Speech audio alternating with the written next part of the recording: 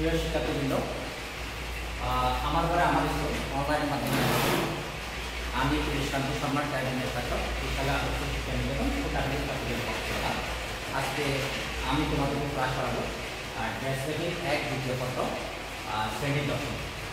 অধ্যায় দ্বিতীয়, অধ্যায়ের নাম পোশাকের গুরুত্বপূর্ণ প্রিয় শিক্ষার্থীবৃন্দ পোশাকের আজকে আমি তোমাদেরকে যে পোশাকের গুরুত্বপূর্ণ অংশ, সম্পর্কে বলব। পোশাকের অনেকগুলো গুরুত্বপূর্ণ অংশ রয়েছে। তার মধ্যে কিছু গুরুত্বপূর্ণ অংশ আজকে তোমাদেরকে আমি এখানে আলোকপাত করব। তার মধ্যে প্রথমে প্যান্টের ব্যাক প্রাইস এই ব্যাক প্রাইসটা সচরাচর প্যান্টের মধ্যে হয়ে থাকে। তাহলে ব্যাক প্রাইসটা কি? জানতে হবে। এই ব্যাক প্রাইসটি অর্থাৎ এই স্থানটি প্যান্টের পিছনের অংশ। তাহলে আমরা নাম দিতে বুঝতে পারছি। ব্যাক মানে পিছনে।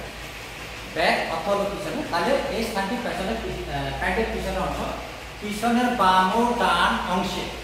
পিছনের বাম ও ডান অংশের সংযোগস্থল ও ক্রস পয়েন্ট হতে সেন্টার ব্যাক ওয়েস্ট লাইন পর্যন্ত দূরত্বকে ব্যাক প্রাইস প্রিয় শিক্ষার্থীবৃন্দ, আবার আমি তোমাদের বোঝার সুবিধার্থে তোমাদেরকে আবার বলে দিচ্ছি। যেহেতু আমাদের অধ্যায়ের নাম পোশাকের গুরুত্বপূর্ণ অংশ, তার মধ্যে প্রথমে আমি তোমাদেরকে আলোচনা করব ব্যাক প্রাইস এটা প্যান্টের একটি অংশ। যাই হোক ব্যাক অত পিছন। এখন ব্যাক প্রাইস বলতে আমরা কি বুঝি?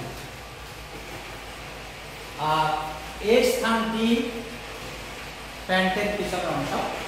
পিছনের বাম ও ডান অংশে পিছনের বাম ও ডান অংশে সংযোগস্থল ও ক্রস পয়েন্ট হতে সেন্টার ওয়েস্ট ব্যাক লাইন পর্যন্ত দূরত্বকে ব্যাক লাইন এখন চিত্র দিলে তোমরা স্পষ্ট হবে তোমাদের যে চিত্রটা আমি দেখে দিচ্ছি।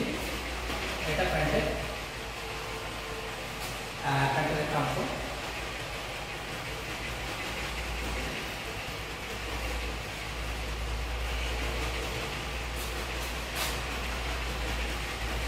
এটা হলো ব্যাক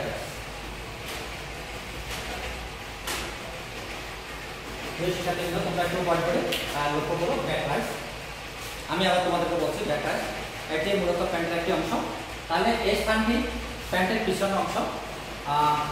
পিছনের বাম ও ডান অংশের প্যান্টের পিছনের বাম ও ডান অংশের সংযোগস্থল ও ক্রস পয়েন্ট হতে সেন্টার ওয়েস্ট ব্যাক লাইন পর্যন্ত সেন্টার ওয়েস্টের ব্যাক লাইন পর্যন্ত দূরত্বকে ব্যাক রাইস বলে। তাহলে, এবার ব্যাক প্রাইসের পর ফ্রন্ট ফ্রন্ট মানে সামনে অংশ এখন ফ্রন্ট প্রাইসটা কি? তাহলে এটিও প্যান্টের সামনের অংশ। যেহেতু আগে বলা হচ্ছে ব্যাক প্রাইস ব্যাক প্রাইস প্যান্টের পিছনের অংশ ফ্রন্ট প্রাইস প্যান্টের সামনের অংশ। সামনের বাম ও ডান, অথবা ডান ও বাম অংশে। ক্রস পয়েন্ট হতে সেন্টার ব্যাক ওয়েস্ট লাইন পর্যন্ত দূরত্বকে ফ্রন্ট প্রাইস বলে। ব্যাক প্রাইস এবং ফ্রন্ট প্রাইস সংখ্যাটা একটু তোমরা মিলিয়ে নাও, কাছাকাছি শুধু একটা শব্দ পরিবর্তন করতে হবে। শব্দটা হলো যে ব্যাক ওখানে ব্যাক লেখা আছে ব্যাকের পিছনের অংশ লেখা আছে, পিছনের দ্বারা আমি সামনের অংশ প্যান্টের পিছনের অংশ লেখা আছে, পিছনের অংশটা ফ্রন্ট রাইজে এসে সামনের প্যান্টের সামনের অংশ লিখলে আর বাকি সবগুলো এক কথা লিখতে হয়ে যাবে শুধু এই দুটা কথা পরিবর্তন করতে হবে। তাহলে আমি তোমাদেরকে আবার বলতেছি ফ্রন্ট প্রাইসটা কি? এটি সামনে এটি প্যান্টের সামনের অংশ সামনের বাম ও ডান অথবা সামনের ডান ও বাম অংশের ক্রস পয়েন্ট হতে সেন্টার ওয়েস্ট লাইন পর্যন্ত দূরত্বকে রাইস বলে। তাহলে চিত্র তোমরা দেখে নাও।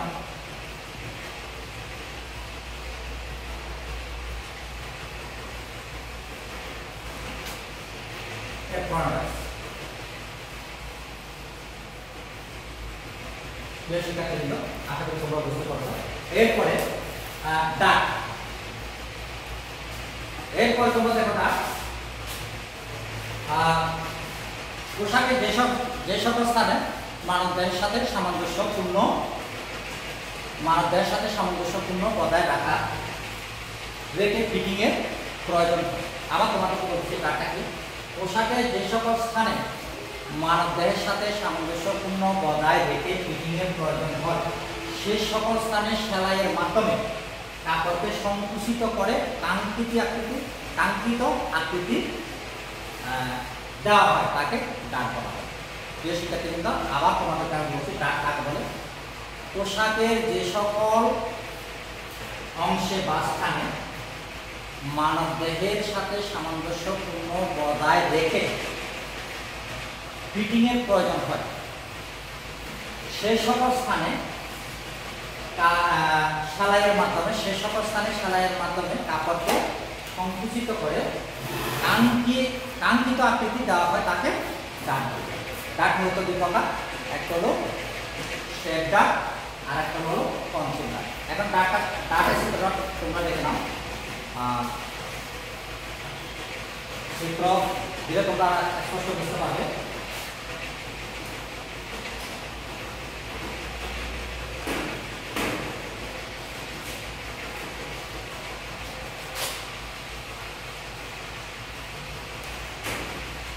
হ্যাঁ এটা হলো ডাক তাহলে ডাক সংখ্যাটা আমি আবার তোমাদেরকে দিচ্ছি। মানব দেহের সকল অংশ শরীরের সাথে সামঞ্জস্যপূর্ণ ওই সামঞ্জস্যপূর্ণ বজায় রাখার জন্য, অর্থাৎ ফিটিংয়ের সাথে সামঞ্জস্যপূর্ণ বজায় রাখার জন্য কাপড়কে সংকুচিত করে যে সকল স্থানে কাঙ্ক্ষিত আকৃতি দেওয়া হয়, তাকে ডাক বলে। তাহলে ডাক কত প্রকার? ডাক মূলত দুই প্রকার। একটা হলো শেপ ডাক আর একটা হলো কনসেপ্ট ডাক এখন শেপ ডাক বলে? শেপ ডাকটা দেখো। কাপড়ের কোনো অংশ না কেটে তারপরে কোনো অংশ না কেটে ভিতর দিকে বাঁকানো সেলাইয়ের মাধ্যমে আটকিয়ে দেওয়া হয় তাকে শেপ ডাক আর তোমরা শিক্ষাটা ভালো করে দেখলাম শেপ ডাকের ক্ষেত্রে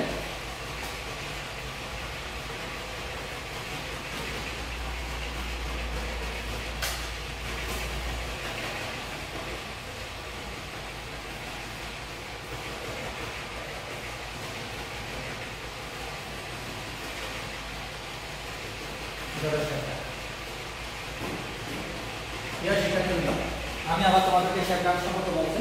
তোমরা ভালো করে লক্ষ্য করো, পয়েন্ট দিকে ভালো করে লক্ষ্য করো।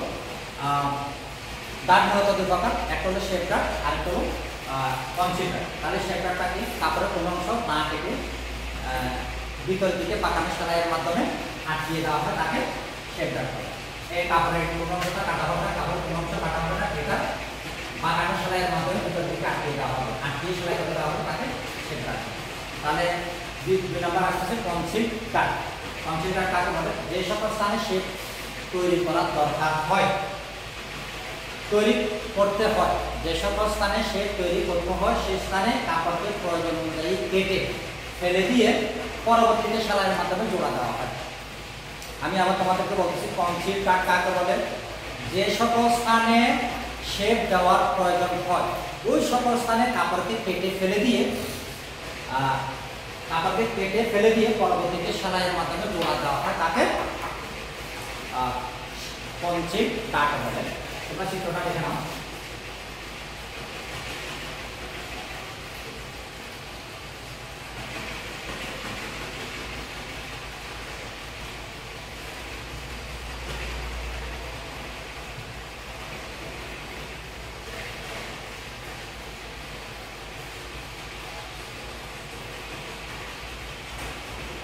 কাট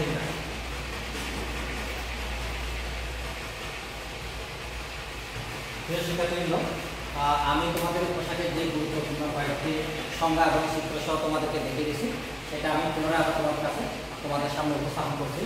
আমরা প্রথমে করছি ব্যাক রাইস তারপরে ফ্রন্ট রাইস তারপর ডাক এখন আবার তোমাদেরকে আমি ব্যাক রাইস সম্পর্কে অবগত করাচ্ছি। ব্যাক রাইসটা কি? এই স্থানটি প্যান্টের পিছনের অংশ। প্যান্টের পিছনের বাম ও ডান অংশে। সংযোগস্থল ও ক্রস পয়েন্টের সেন্টার ওয়েস্ট ব্যাক লাইন পর্যন্ত দূরত্বকে ব্যাক রাইট এবার কি এটিও এই স্থানটি প্যান্টের সামনের অংশ। সামনের, প্যান্টের সামনের বাম ও ডান অথবা ডান ও বাম অংশের ক্রস পয়েন্টের সেন্টার ওয়েস্ট ব্যাক লাইন পর্যন্ত দূরত্বকে ফ্রন্ট রাইট এরপরে ডাক।